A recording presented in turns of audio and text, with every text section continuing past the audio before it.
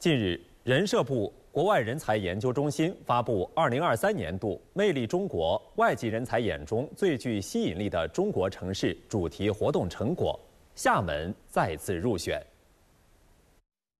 据介绍，魅力中国城市主题活动面向外籍人才开展问卷调查，从工作满意度、生活便利度、环境友好度三个维度对外籍人才的评价进行指标量化分析，形成中国城市外籍人才吸引力指数，反映我国城市对外籍人才的综合吸引力。二零二三年度主题活动根据外籍人才集聚度、经济水平等标准，选取了三十九个样本城市，收到有效问卷四千八百一十六份。北京、上海、杭州、广州、苏州、深圳、青岛、南京、成都、厦门等城市位列二零二三年度中国城市外籍人才吸引力指数前二十。本台记者报道。